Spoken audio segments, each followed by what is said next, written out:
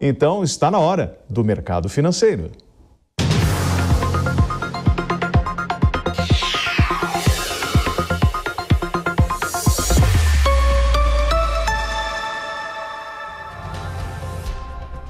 Samidana, Luiz Arthur Nogueira, estou aqui curioso com as notícias do mercado financeiro. Ótima tarde.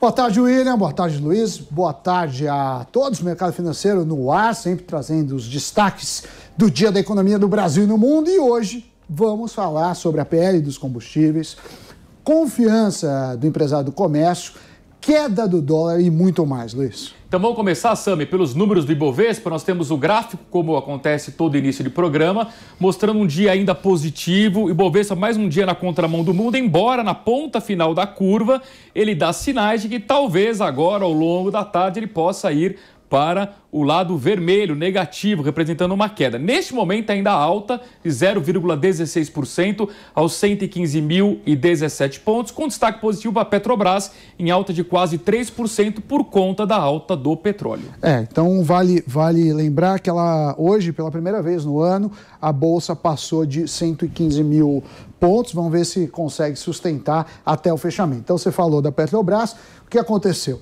Ontem estava todo mundo numa sensação de alívio das tensões, não vai mais ter guerra.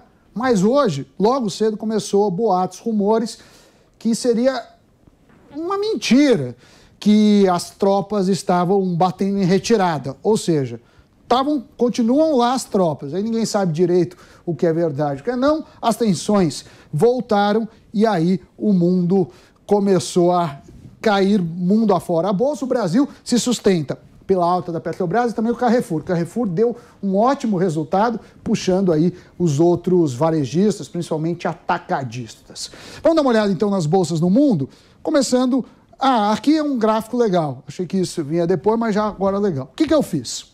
Peguei 76 bolsas do mundo, praticamente todas as bolsas. Pode pôr o gráfico, por gentileza, o pessoal do Switch. Bolsa. Ah, ah não, é que a Bolsas Mundo está no telão para as pessoas. Então agora, hum. agora sim. Então, vamos lá. Ásia. China, já fechado o mercado, 0,57. Japão, 2,22. Hong Kong, 1,49. As três em alta. Aí começaram as notícias que não era bem assim, as tropas estão lá, Estados Unidos não reagiu bem nem a Europa. Então, Dow Jones, Bolsa Nova caindo 0,63, SP500 caindo 0,56 e a Nasdaq caindo 0,97. Na Europa, também quase todo mundo no vermelho.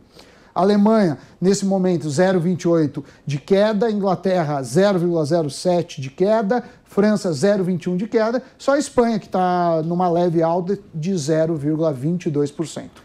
É, e no mercado de câmbio a gente continua com um comportamento surpreendente, fluxo de estrangeiro vindo para o Brasil, tanto para a Bolsa quanto para câmbio, títulos públicos. O Sam vai mostrar o gráfico daqui a pouco, mas antes vamos colocar as moedas aqui. Vamos. Olha como o dólar tá. Não, não vamos colocar não. o dólar. Aqui, já está lá. Aí, está ainda tela cheia. 5,16 né, estável, mas é um patamar baixo aí. Vamos lembrar que no ano começou em 5,58, agora R$ 5,16. O euro em alta de 0,19%, R$ 5,87. Bitcoin caindo 1,88% aos 43.668 dólares. É, o dólar chegou a bater 5,15 é, hoje também, menor valor do ano. Agora sim, Luiz, agora é a hora de a gente fazer aquele ranking maravilhoso temos ranking de bolsas e de moedas.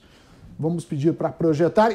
Agora sim. Então, o que a gente fez? Pegou 76 bolsas no mundo, desempenho em 2022. A gente já falou outras vezes, 2020 o Brasil não foi bem, 2021 não foi bem. Agora, 2022, não temos o que reclamar. Somos a bolsa que mais subiu no mundo em dólar. Tá, primeiro lugar aí do pódio, Brasil, 18,97%. Na sequência, a gente tem a bolsa do Peru, Chile, Arábia Saudita, África do Sul, Grécia, Colômbia, Singapura, Nigéria e Catar. Mas para ter uma ideia, a gente é, é, o décimo lugar, né? A gente é mais o dobro do décimo lugar. Então, excelente aí a mudança de perspectiva, né? Lembrando que o mercado financeiro ele não trabalha só com os dados reais, no sentido da economia realizada, ele também com a economia projetada. E por falar nisso, temos o dólar também. Agora sim, as moedas, a gente pegou 61 moedas e fez a mesma conta. E de novo, Brasil na ponta. Ontem estava tava, é, já em primeiro, a gente comentou, mas a gente não tinha o gráfico. Então o dólar, é, ou melhor, o real, se valorizou 8,09% em relação ao dólar neste ano. Aí Chile em segundo lugar, é, África do Sul, Peru, você vê que tem uma, tem uma relação né, da bolsa com a moeda, até porque é, são conectadas. Né? As pessoas também injetam moeda no país quando querem investir na bolsa, afetando o câmbio. Agora sim, missão cumprida, pelo menos desses rankings. Muito bem, Sam. Bom, e aí fica aquela coisa intrigante, né? O que, que tinha de tão errado no ano passado, que a Bolsa Brasileira foi a que mais apanhou, e o que, que tem de tão certo agora, nesse início de ano, que a Bolsa Brasileira é que mais sobe? Para falar sobre esse assunto, estamos em contato agora com o CEO da Mauá Capital, ex-diretor do Banco Central, Luiz Fernando Figueiredo. Luiz Fernando, seja bem-vindo ao Mercado Financeiro, tudo bem? Tudo bem vocês? Tudo ótimo. Luiz Fernando, o que, que tinha de tão errado ano passado e o que, que tem de tão certo agora? Não é bem assim. É uma boa pergunta, né? É, bom, é, no ano passado, nós ficamos. Uh, uh, dizer, o Brasil foi muito mal, né?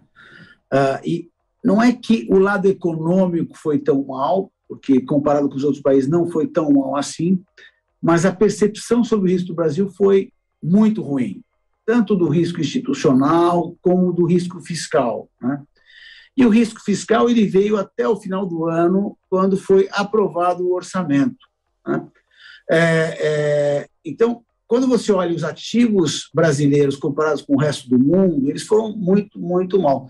O que vocês acabaram de mostrar, né, da melhora da bolsa brasileira em dólar, na verdade é um pouco do, do, do, do contrário do que nós vimos no ano passado. Em média, a bolsa brasileira ano passado ela perdeu quase 40% para a bolsa americana e para as bolsas europeias. Ah, o que a gente está é fazendo um pequeno catch-up aí, quer dizer, é, voltando um pouco. Por que isso está acontecendo? Majoritariamente porque os estrangeiros estão comprando ações no Brasil. Quando a gente olha o fluxo de estrangeiros na Bolsa, uh, que o ano passado já tinha sido relativamente importante, positivo, acima de 100 bilhões, agora, só nesse mês e meio, uh, passou 40 bilhões. Então, nós estamos falando de um volume muito grande de recursos de estrangeiro num período curto, num ambiente em que uh, uh, o mundo está, no mínimo, aí com um certo chacoalhão, né? o primeiro mundo não está, as bolsas não estão propriamente indo muito bem. Uh, mas por que isso está acontecendo? Porque o Brasil está sendo considerado um país muito barato, né? barato demais, e a, a perspectiva para frente não tão ruim, principalmente eh, do lado fiscal. Né? Edu, muito se fala sobre o dólar, né? Você, como economista, deve ser é, importunado, assim como eu sou muitas vezes, sobre a hora de comprar dólar, de vender dólar. A gente sabe que o dólar é, subiu muito nesses últimos tempos. A gente sabe que parte da nossa inflação se deve ao dólar e também da inflação em dólar que eu queria te perguntar é o seguinte: algumas casas fazem algumas comparações. Você tem desde o índice Big Mac, que a The Economist faz, até outras projeções, e muitos falam que o real poderia ter uma valorização de 20% frente ao dólar pelos nossos fundamentos. Queria saber qual que é a sua previsão. Você acha realmente que o erraram a mão, o real se desvalorizou mais do que deveria? E se você tem alguma uh, projeção do dólar? Porque eu, particularmente, não tenho.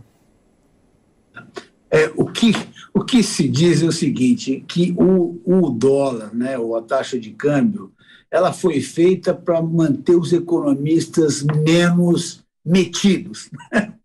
Então, temos que levar isso em consideração. Dito isso, o que aconteceu foi é, é, que o, o, dólar realmente ele subiu muito no Brasil. Né? Eu acabei de comentar sobre essa percepção de risco fiscal, é, é risco institucional, que afetou muitos ativos brasileiros, principalmente a Bolsa, o dólar é a mesma coisa. Né? O dólar é, é, é um ativo de risco. Né? Então, um país super bom, a tendência é que a sua moeda seja muito valorizada. Um país que está indo muito mal, a sua, a sua moeda muito desvalorizada. E foi nessa, nesse pensamento que a taxa de câmbio ficou tão depreciada. Acontece que ela ficou depreciada demais para um país que é exportador de commodities, as commodities subiram, o balanço de pagamentos, em geral, não só por conta das commodities e da balança comercial, mas também do resto da, da, das contas externas, indo muito bem. Um processo até de desalavancagem no Brasil com relação ao exterior. Quando essa incerteza ela para de crescer e ela começa a reduzir, o que acontece? A taxa de câmbio aprecia, como está acontecendo com a Bolsa. Né? A Bolsa está subindo, por quê? Porque a visão é que ela ficou barata demais. É a mesma, a mesma coisa acontece com a taxa de câmbio. A minha visão para frente é uma taxa de câmbio mais apreciada sim. Eu diria que a nossa taxa de câmbio de equilíbrio está muito mais para abaixo de 5% do, do que R$ reais do que acima de R$ reais. Fernando Figueira, agora eu vou colocar então água nesse chope aí do abaixo de cinco reais, porque nós temos uma eleição pela frente, uma tendência natural, por exemplo, de quem está no governo hoje, ele tem medidas populistas do tipo batalhar para reduzir preço de gasolina sem ter dinheiro para isso, o que vai gerar um ruído fiscal. Nós temos o líder das pesquisas defendendo coisas do tipo vamos revogar reforma trabalhista e vamos acabar com o teto de gastos. Será que não tem o risco de, em algum momento, a ficha cair? Para o mercado financeiro de que essa eleição vai ser bem ruidosa e não necessariamente o resultado final dela vai ser bom para a economia em termos de agenda? Na verdade, essa ficha já caiu faz muito tempo. Os ativos brasileiros foram o lixo do mundo no ano passado, não por outra razão. Você tinha questões de curto prazo, mas no final das contas a perspectiva eleitoral era muito ruim. O que, o que nós estamos vendo é que é possível, talvez até provável, que o candidato que se eleja ele não venha com uma ruptura fiscal. E o que o grande problema do Brasil hoje é esse flerte com a insustentabilidade fiscal. Se esse flerte deixar de acontecer, ou seja, o Brasil ficar mais razoável do ponto de vista de suas contas olhando uma perspectiva mais de médio e longo prazo, os ativos brasileiros têm muito a recuperar. Então, o ponto é, os ativos brasileiros já embutem um risco razoável, não integral, até porque ela não aconteceu, mas razoável de descontinuidade fiscal. O que nós vimos recentemente, mais claramente ao longo desse início de ano, foi uma pequena descompressão ao que a gente viu ao longo do ano passado inteiro. Figueiredo, o que você acha que poderia ser feito em termos de política econômica uh, para ajudar o país no curto prazo? No longo prazo a gente sabe, tem que fazer as reformas, tem que fazer, uh, mexer na, na, na máquina do governo, privatizar, mas no curto prazo, que a gente viu, e você que foi do Banco Central, a gente viu uma taxa saindo de 2%, indo para 10,75%, com uma previsão de juros futuros de 12,25%. Hoje, o Brasil tem a taxa de juro real a mais alta do mundo, o que talvez não justifica, justamente pelo que você falou. Gente é um país exportador de commodities. Uh, isso tem seus malefícios, é um remédio amargo. Então, o que você acha que poderia ser feito? É, o que nós precisamos fazer é parar de flertar com a insustentabilidade. Toda vez que você tem medo, se você vai ser sustentável ao longo do tempo, uh, você se retrai e você toma um monte de medidas defensivas para que isso não aconteça.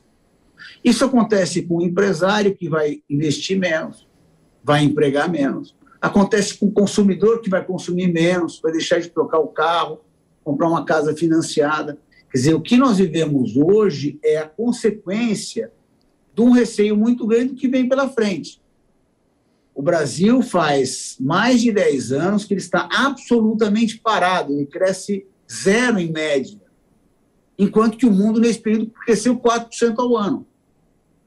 Será que a gente vai continuar dessa forma? O desemprego hoje está em 11,5%.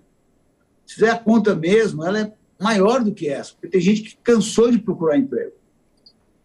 Então, é, é, Hoje, é, é, nós temos um nível de incerteza muito grande para qualquer coisa que a gente venha fazer. Então, a primeira coisa que o Brasil precisa fazer é reduzir a incerteza. Vai ser uma mudança muito profunda na nossa visão, na nossa confiança, o que vai gerar uma melhora supernatural e importante de consumo, é, de tudo que nos leva a ter um crescimento saudável. Figueiredo, os Estados Unidos eles têm atualmente a maior inflação em 40 anos e o Fed ainda vai começar a subir juros em março. Na Europa, inflação a maior em 30 anos e a Lagarde sequer fala em subir juros. Estamos atrasando demais essa alta de juros e gestando uma nova crise no futuro? Ou você acha que o bom senso está prevalecendo no sentido também de não atrapalhar demais a recuperação econômica pós-pandemia?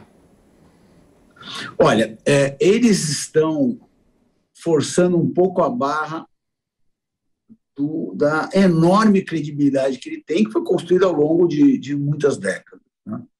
Mas sabe quando você força um pouco a amizade? O que está acontecendo hoje é que os bancos centrais do mundo estão forçando um pouco a amizade com relação à questão da inflação. Primeiro falavam que a inflação era transitória, agora depois é uma inflação de custos. Só que enquanto isso, o desemprego está lá embaixo nesses países, principalmente nos Estados Unidos, e o crescimento muito forte, muito acima do que a gente chama de crescimento potencial, né? Aquele crescimento que não gera inflação, né? Está crescendo muito acima disso. Não dá para continuar desse jeito. Quer dizer, o Fed mudou bastante o discurso dele, mas eu vou dizer para vocês, ainda está tímido perto do tamanho da encrenca. Nós falamos de, um, de, uma, de uma inflação de 7% no ano passado, esse ano a inflação vai ser 5,5%, 6%. É alta demais. Se você fala que o Fed vai ser muito agressivo e vai subir o juro para 2, 2 com uma inflação de 4, 5 ou 6, é um juro ainda muito baixo.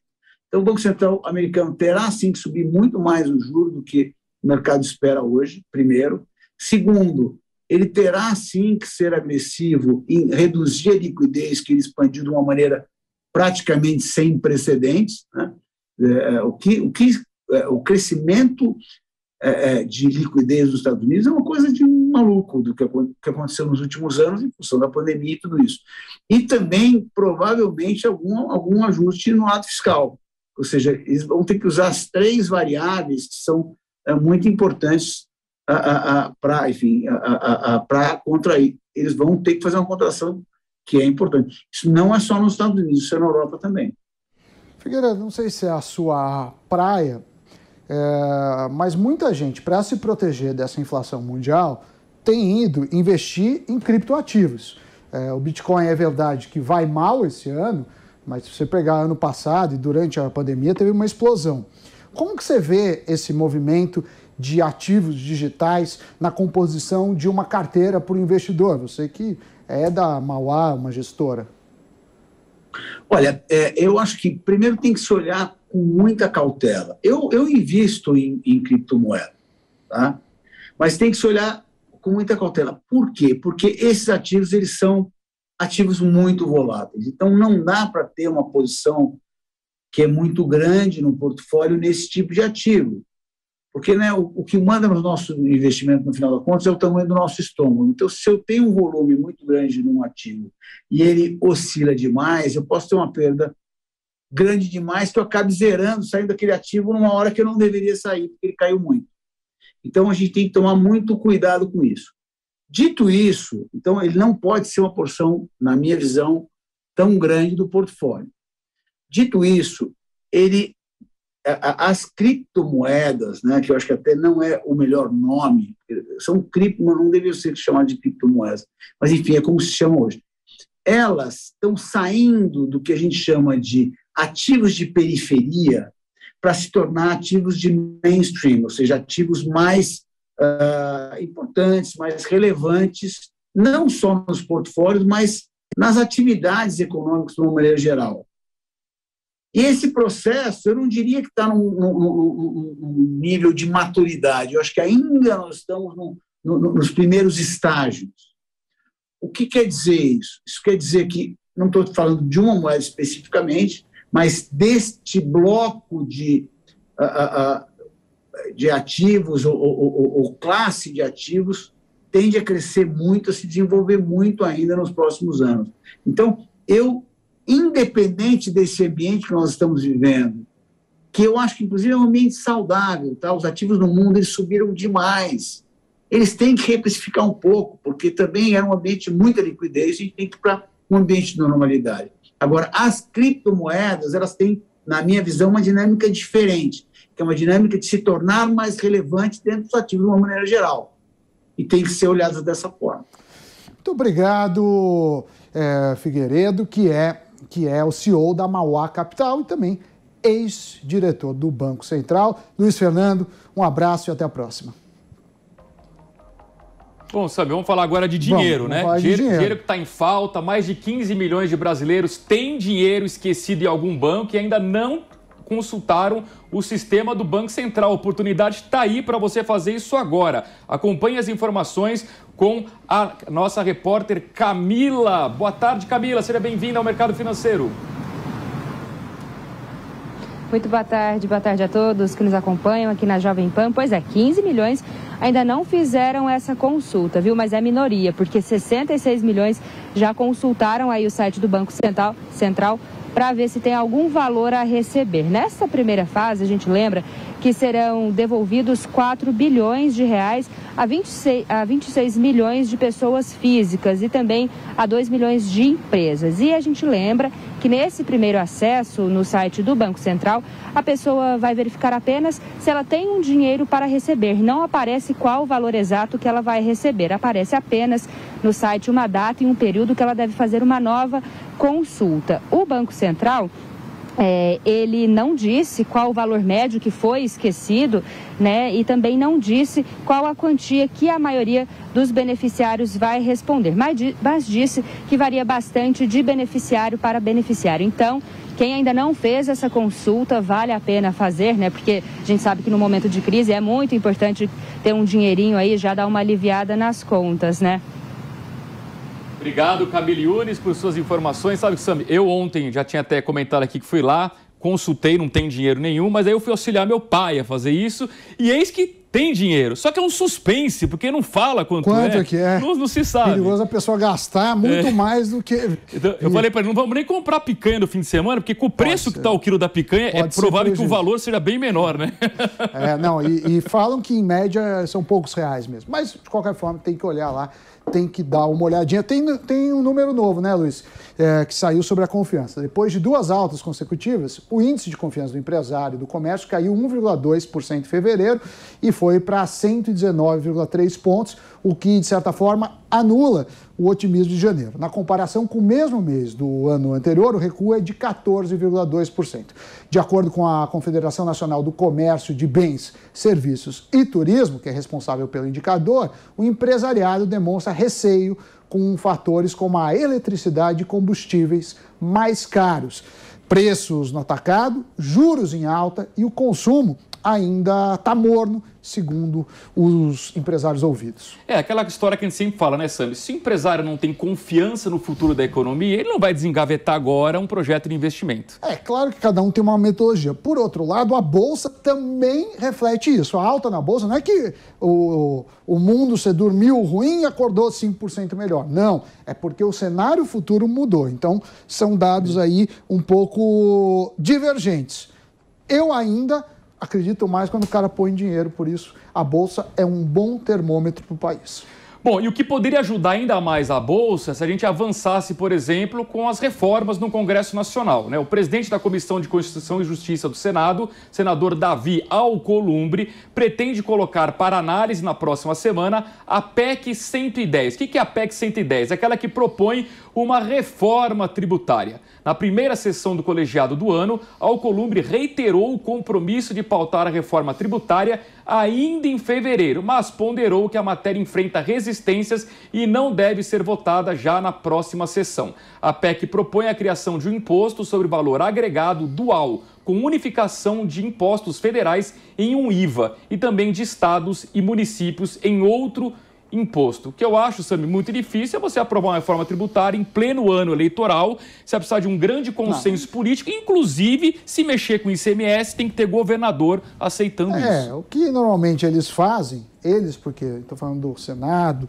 uh, da Câmara e até do, do, do presidente, é aprovar reformas que não aumentam o imposto e são populares. Por outro lado, essas reformas aumentam a dívida brasileira. E aumentando a dívida, vem um lado negativo, que é o dólar mais alto, que é a inflação e também os juros que o Banco Central vai ter que agir. Então, eu espero e acredito que não vá, não vá uh, para frente essas ideias. E é melhor não ir para frente se for para aumentar a dívida do que causar um problema maior, Luiz. Exato. A reforma tributária que dificilmente passa em ano eleitoral e o Congresso continua quebrando a cabeça para desvendar o mistério de como vamos reduzir na marra preço de combustível. Eu não acredito nessa solução mágica de cortar imposto e achar que na ponta vai cair para o consumidor final, até porque se você corta imposto, não diz de onde viria uma alta de outro imposto, porque a ideia não é aumentar imposto nenhum. Você vai aumentar o rombo, como disse o Sami, você piora o risco fiscal,